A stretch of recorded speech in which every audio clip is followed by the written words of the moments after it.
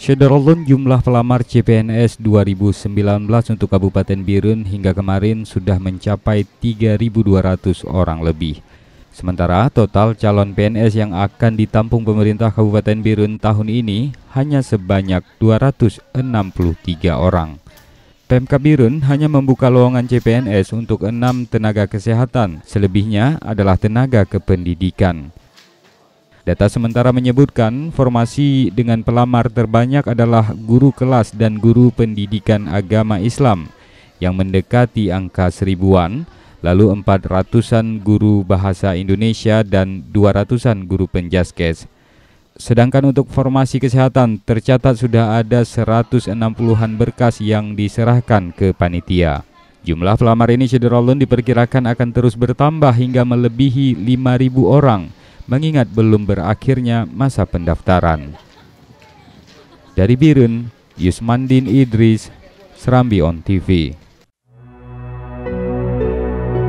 Ku perkenalkan padamu sebuah tempat yang rupawan. Yang di setiap sisinya hanya biru dan hijau. Sebuah panorama alam yang sangat dirindukan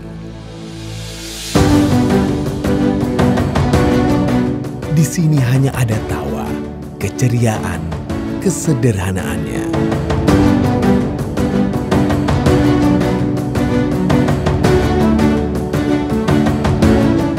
Pengalaman menikmati dua warna air laut atau menikmati tarian khas Likok Pulau yang mempesona.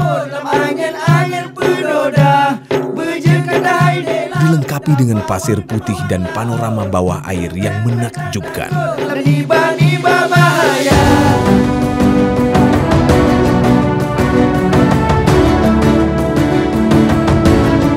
Yang akan membawamu ke sebuah pengalaman baru.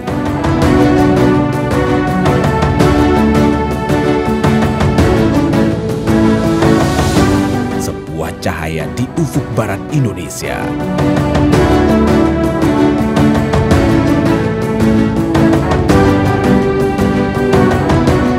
Mereka menyebutnya Pulau Aceh.